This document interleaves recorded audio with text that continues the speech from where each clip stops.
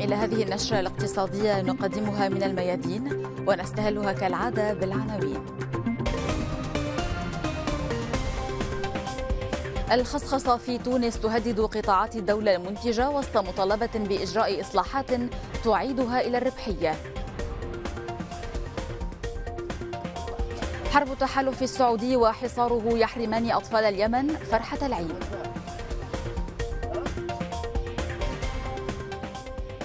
بكم تعاني المؤسسات العامة في تونس من وضع اقتصادي صعب يهدد معظمها بالإفلاس.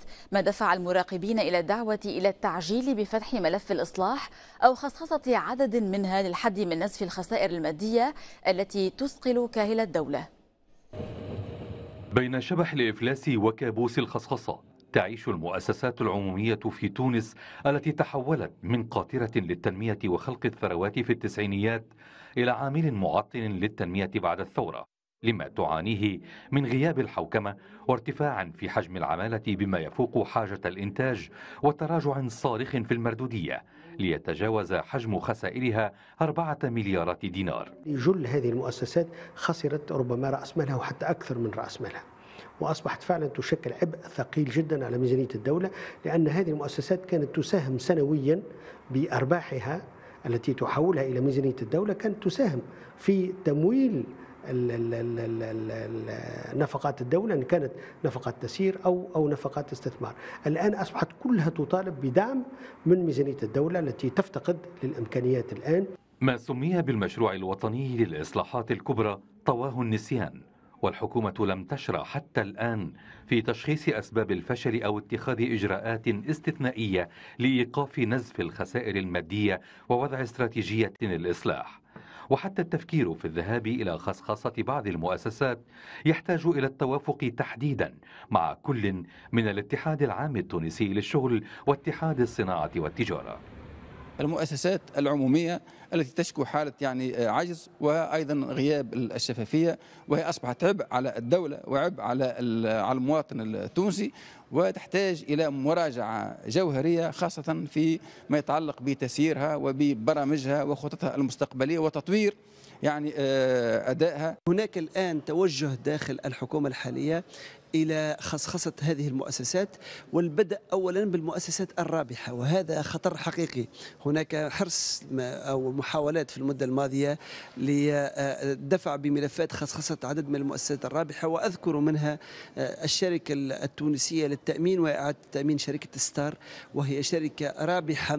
تحتاج الحكومة بحسب مراقبين إلى فتح حوار شامل مع الفاعلين الاقتصاديين والخبراء والأحزاب السياسية الكبرى لتحقيق توافق واسع حول رؤية للإصلاح. تنقذ المؤسسات السيادية الكبرى وتخصخص جزئيا أو كليا عددا من المؤسسات التي تعاني من صعوبات هيكلية. إصلاح المؤسسات أو خصخصتها قد يفتح الباب أمام انتقادات واحتجاجات على الحكومة لأنه سيمر حتما عبر تسريح آلاف العمال. عماد شطارة تونس الميادين.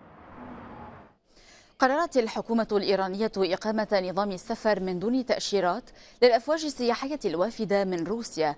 وبحسب بيان نشرته الحكومة الإيرانية فإن مجلس الوزراء وبناء على اقتراح وزارة الخارجية قرر السماح بإقامة نظام السفر من دون تأشيرات على أساس التبادل لمجموعات من مواطني الدولتين وفق ما اتفق عليه رئيسا البلدين أثناء زيارة الرئيس الإيراني حسن روحاني إلى موسكو في أذار مارس الماضي. ارتفعت كلفة التأمين على الديون السيادية القطرية إلى أعلى مستوياتها في عام بعد تحديد مهلة أخيرة لقطر مدتها عشرة أيام لتنفيذ مطالب الدول العربية المتنازعة مع قطر. وشملت قائمة المطالب 13 مطلبا من بينها إغلاق قناة الجزيرة وخفض العلاقات مع إيران وإغلاق قاعدة تركية في الدوحة ودفع تعويضات. وأظهرت بيانات IHS أن عقود مبادلة مخاطر الائتمان القطرية لأجل خمس سنوات ارتفعت أربع نقاط عن إغلاق يوم الجمعة. اجتمع أمير قطر الشيخ تميم بن حمد آل ثاني مع دارين وودز الرئيس التنفيذي لإكسون موبيل النفطية لبحث إمكانات التعاون في أعقاب الخلاف بين قطر وأربع دول عربية.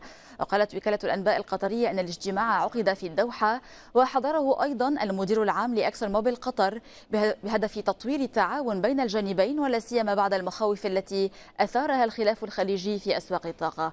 وكانت إكسون موبيل قد أكدت سابقا أن إنتاج الغاز الطبيعي المسال وتصديره من قطر لم يتأثرا بالخلاف.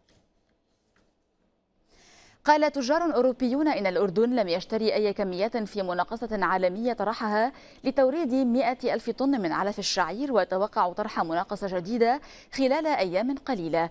وواجه الأردن صعوبات في الشراء في سلسلة مناقصات القمح والشعير في الأشهر الأخيرة إذ يقول التجار إن هناك حالة من الضبابية تكتنف شروط مراقبة الجودة والسداد الجديدة ما قلص من مشاركة مصدري الحبوب الرئيسيين. أجواء من الكآبة تلف مخيمات النازحين اليمنيين في صنعاء فالعيد يحل عليهم وهم خارج بيوتهم. وحاجاتهم الأساسية لا تصل دائما بالقدر الكافي وأهمها الغذاء والدواء والألبسة. أحمد عبد الرحمن زار مخيم ضروان للنازحين وعاد بالتقرير التالي. ابتسامات بريئة لا تداري بؤسا أظهرته ملابسهن الرثة وهن يحاولن القبض على العيد. على مقربة منهن اتخذت فتيات أخريات من هذه الناقلة وسيلة للعب عليها. وليس ببعيد يدور عثمان بدراجته تحت أنظار أقرانه في متنفسهم الترابي عله يقع في العيد. هكذا هو عيد أطفال النازحين في هذا المخيم خارج صنعاء منذ أكثر من عامين بعد أن دمرت المقاتلات السعودية منازلهم في صعدة. ما معناش لا جنبية ولا أوترا ولا صندر نحتاج اتصالات مسلحة أدوار للعيد. اشترنا حاجات للعيد. عيد كئيب منزوع الفرحة وبلا ملامح. يشبه سائر أيام فؤاد ومريم وأطفالهما التسعة طالما بقوا رهن المعاناة والنزوح. لا ملابس جديدة لأطفالهم ولا غذاء في خيمتهم ويشكون تقطع نافذين في المنطقة لمساعدات فاعلي الخير ونسيان منظمات الإغاثة الخارجية ووحدة النازحين المحلية طريقها إليهم. في عيد إحنا لا معانا كسل جهالنا ولا معانا طحان ولا معانا زيت ولا سكر. وإحنا ساكنين في ذروان جا لا لا في واحد فاعل خارجي يفعل خير. أحرق نفسي لما عين عيالي بدون كسوة بدون هذا إلا وأنا ببيتي إن أنا مرتاح. قساوة التفاصيل جعلت عيد هؤلاء باهتا وفرحة مؤجلة حتى تتوقف الحرب على وطنهم ويعانق جدران بيوتهم وبعودتهم يكون عيدهم. في حضرة عيد الفطر الثالث لهم هنا كنازحين بعيدا عن منازلهم المدمرة والبعيدة.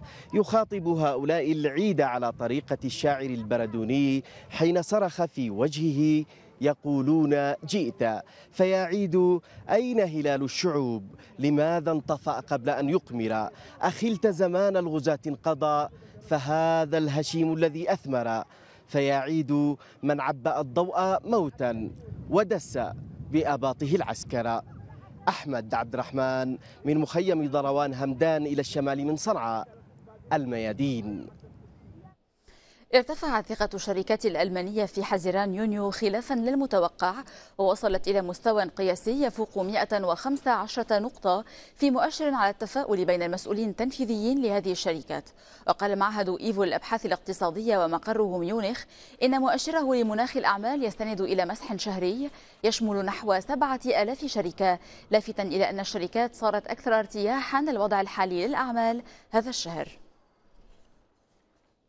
صفر يورو قيمة الأوراق النقدية الجديدة التي أصدرتها ألمانيا بترخيص من البنك المركزي الأوروبي.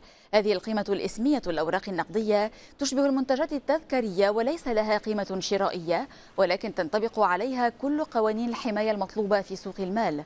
وأصدرت ألمانيا من هذه الأوراق نحو خمسة ألاف طبعة يمكن شراؤها كعملة تذكارية بسعر 2 يورو ونصف للورقة الواحدة.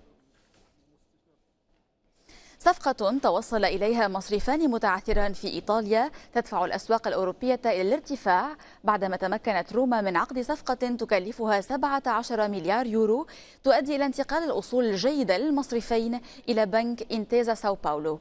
وأدت الصفقة الإيطالية إلى دعم مؤشر المصارف لأكثر من 1.5% علما أن أسهم بنك إنتيزا ارتفعت 3.5% وساهمت أسهم شركة نسلي في دفع الارتفاع بعد إفصاح مستثمر رئيسي عن امتلاكه 1% من أسهم الشركة داعيا إلى تحسين هوامش ربحها وإعادة شراء أسهم وتقليص الأنشطة غير الأساسية.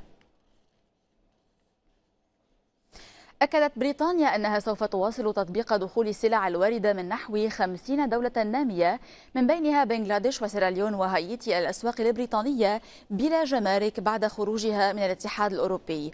وقالت الحكومة إن نحو 48 دولة ستواصل الاستفادة من التصدير المعفى من الجمارك بالنسبة لكل السلع باستثناء الأسلحة والذخائر إلى أسواق بريطانيا وإنها فور انسحابها من الاتحاد الأوروبي. ستبحث خيارات توسيع العلاقة التجارية بشكل أكبر.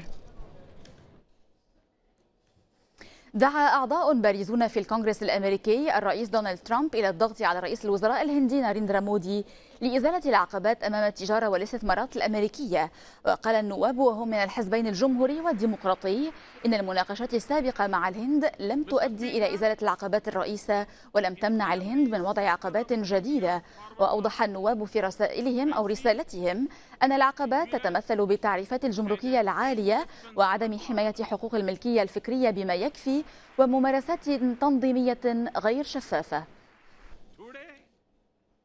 بهذا الخبر نختم النشرة. للمزيد زوروا موقعنا الميادين دوت نت باللغتين العربية والإسبانية. نشكر لكم حسن المتابعة وإلى اللقاء.